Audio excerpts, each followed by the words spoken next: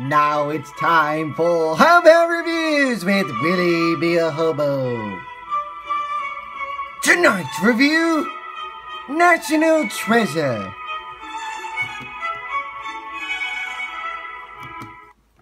Oh my god, this is the best movie I've ever seen in my whole life! X marks the spoilers! There's this guy named Benjamin Franklin Gates, Who was probably named after his longtime ancestor Benjamin Franklin, who is obsessed with a treasure! Gee, this kind of looks like Indiana Jones and the Last Crusader, my man. Don't you think, my man? And so his prior generation and that prior generation and that prior generation and all those generations were obsessed with getting the legendary treasure. Except the daddy's not obsessed with it. He's like, a bunch of hooey hippie stuff. I'm not gonna give a rat's ass about it. Hey, walk away. Although the grandpappy seems to be quite pleased about being obsessed with it, and so is Benjamin Tate. And so we fast forward like 30 years or so, and Benjamin Tate, played by Nicolas Cage, yeah, you know the one that goes, oh, no, not the beat, ah, yeah, that Nicolas Cage.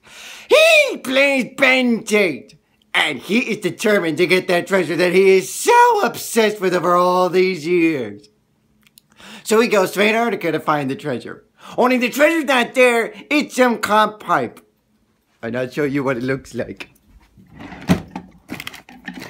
It looks like this, but without it looking like this. It's got like a, you, you know, this part's got like a boat ship on it and stuff like that. So yeah, that's what the corn pipe looks like. And it discovers a hidden clue. Look, Scooby, we found a clue. Hey, Blue, we found a clue. See, everybody wants this treasure. Why not just rename this? It's a Mad, Mad, Mad, Mad, Mad World 2. The Long Lost Treasure. Seriously, that would make perfect sense. The title makes a lot of sense because then it would have been 40 years in between movies. Seriously, what the hell's up with that?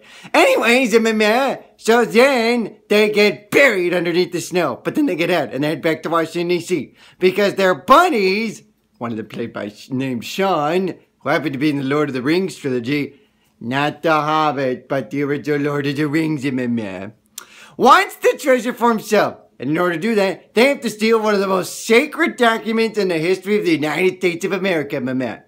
The Declaration of Independence. And you're not gonna believe it, and I'm not fucking high. What is on, what is behind the Declaration of Independence? A hidden map. I am not making this up, folks. I am not fucking high. They seriously have to find a map. Because that'll lead them to another clue and another clue and another, another, another, another, another, it's all about another clue. Which is why the daddy stopped obsessing over this treasure. Because he's like, well, it's always another clue, then another clue, then another clue, then it's like you're wasting your fucking time. I figured it out. So, anyways, they go to DC to steal the Declaration of Independence, which triggers the FBI's arrival.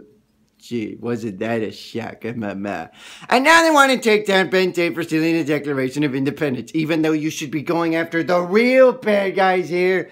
The reason why they stole the Declaration of Independence is to prevent Sean from stealing the Declaration of Independence, because then the treasure would fall into the wrong hands. Haven't you seen these movies before where they take something so that the bad guy doesn't take it, so it doesn't get placed in the wrong hands? Clearly, the FBI has not seen these stupid movies. Oh, wait, that's right. They take down people who rip on these movies. Shame on the FBI.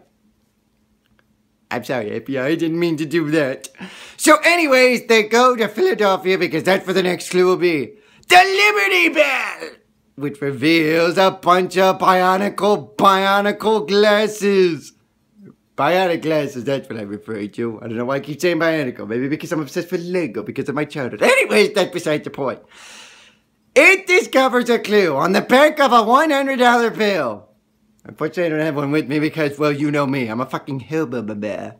Sorry for the foul language, kiddies. It reveals the clue that takes him into a cave. At this point, the daddy is now believing that Ben is actually that close to the treasure, so he follows him. Actually, he's more like kidnapped and is forced to follow him. So then they go and it looks like they've hit a dead end, and then he Ben's daddy gives a fake clue, which sends Sean to Boston You know where Ben Paul Revere said, "The British are coming! The British are coming! The British are coming!" It tricks them into thinking there's a clue there when actually the clue was right there in their eyes. No, seriously, there's like a triangle with an eye on there.